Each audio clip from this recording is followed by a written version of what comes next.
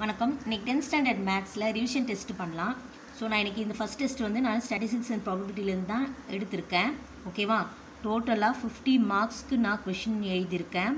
ஓகேவா two marks வந்து ten கொடுத்துருக்கேன். ஸோ டூ மார்க்ஸ் வந்து டென் கொடுத்துருக்கேன்.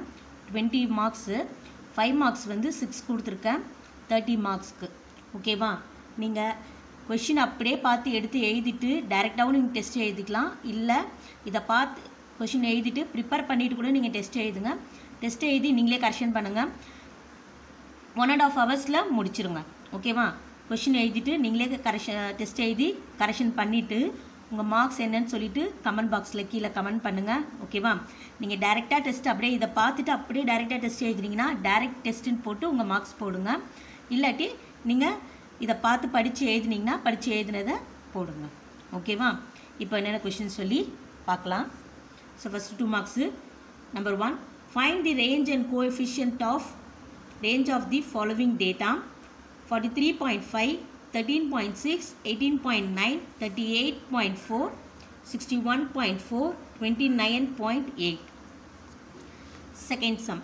Find the range and coefficient of the range of the following data 25 comma 67 comma 48 comma 53 comma 18 comma 39 comma 44 Third one, find the range and coefficient range, coefficient of range of the following data 63, comma 89, comma 98, comma 125, comma 79, comma 108, comma 117, comma 68. Fourth, calculate the range of the following data. So income, number of workers Income 400 to 450, 8, 450 to 512, 500 to 550 30 550 to 621 600 and to 650 6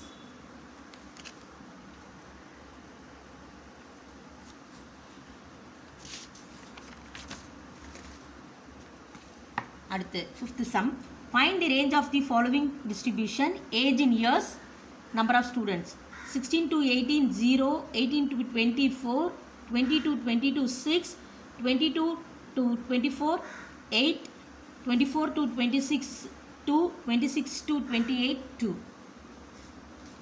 6 to 1 if the range and the smallest value of a set of data are 36.8 and 13.4 respectively then find the largest value. Okay, ஓகேவா 7th one. The range of a set of data is 13.67 and the largest value is 70.08. Find the smallest value. 8th one.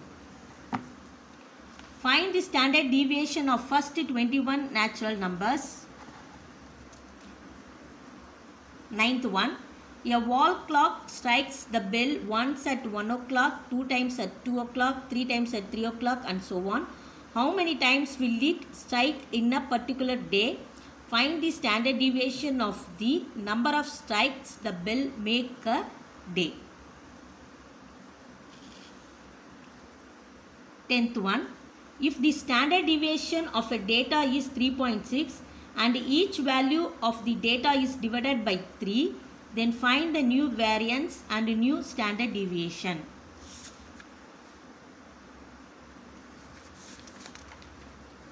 அடுத்து five marks என்னென்னு பார்க்கலாம் the number of television sold in each day of a week or thirteen comma eight comma four comma nine comma seven comma twelve comma ten find it standard deviation second one the amount of rainfall in a particular season for six days or given as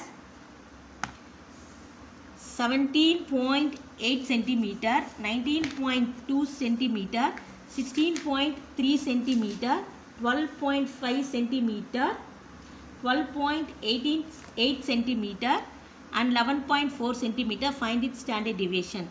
The amount of rainfall in a particular season for a 6 days are given as 17.8 centimeter, 19.2 centimeter, 16.3 centimeter, 12.5 centimeter and 12.8 8 centimeter and 11.4 centimeter. Find its standard deviation. Third one. The marks scored by 10 students in a class test are 25, 29, 30, 33, 35, 37, 38, 40, 44, 48. Find the standard deviation. Find the mean and variance of the first n natural numbers. Fourth sum. Okay, va? Fifth sum.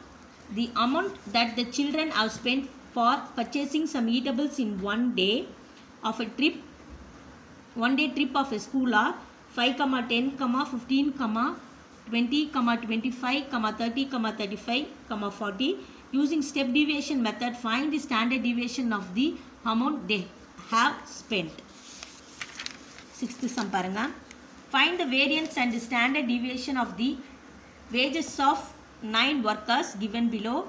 Rupees 310 290 320 280 300 290 320 310 280 ஓகேவா so இந்த வீடியோவில் நான் மொத்தமாக ஸ்டடிஸ்டிக்ஸ் and probability அந்த சாப்டர்லேருந்து தான் நான் எடுத்திருக்கேன். அது ஸ்டடிஸ்டிக்ஸில் தான் நான் இப்போ எடுத்திருக்கேன். ஸோ டூ மார்க்ஸ் வந்து டென் கொடுத்துருக்கேன் டுவெண்ட்டிக்கும் ஃபைவ் மார்க்ஸ் வந்து சிக்ஸ் கொடுத்துருக்கேன் தேர்ட்டிக்கும் ஓகேவா இந்த கொஷின்ஸ் நீங்கள் இப்போ எழுதிக்கோங்க ஒரு பேப்பரில் எழுதிட்டு டைரக்ட் டெஸ்ட்டாகவும் நீங்கள் அப்படியே எழுதுங்க. நீங்கள் எவ்வளோ ப்ரிப்பேர் பண்ணியிருக்கீங்க உங்களுக்கு தெரியும். இல்லாட்டி நீங்கள் ரிவிஷன் பண்ணிவிட்டு திரும்ப கூட நீங்கள் இந்த டெஸ்ட்டை எழுதலாம். டோட்டல் டைம் வந்து பார்த்தீங்கன்னா ஒன் ஹவர் தேர்ட்டி மினிட்ஸ் எடுத்துக்கோங்க. நீங்கள் அதுக்குள்ளேயே முடிக்க பாருங்கள் ஓகேவா இப்போ ரிவிஷனால் கொஞ்சம் அதிகமாக டைம் இருக்குது இல்லாட்டி நீங்கள் மே சீக்கிரம் முடிக்க பாருங்கள் ஓகேவா கமெண்ட் பாக்ஸில் உங்கள் மார்க் என்னன்னு சொல்லிட்டு கமெண்ட் பண்ணுங்கள் ஓகேவா இது உங்களுக்கு யூஸ்ஃபுல்லாக இருந்துச்சா இல்லையான்னு சொல்லிட்டும் நீங்கள் கமெண்ட் பண்ணலாம். இந்த வீடியோ பிடிச்சிருந்தா லைக் பண்ணுங்கள் ஷேர் பண்ணுங்கள் மறக்காமல் இந்த சேனலை சப்ஸ்கிரைப் பண்ணுங்கள் தேங்க்யூ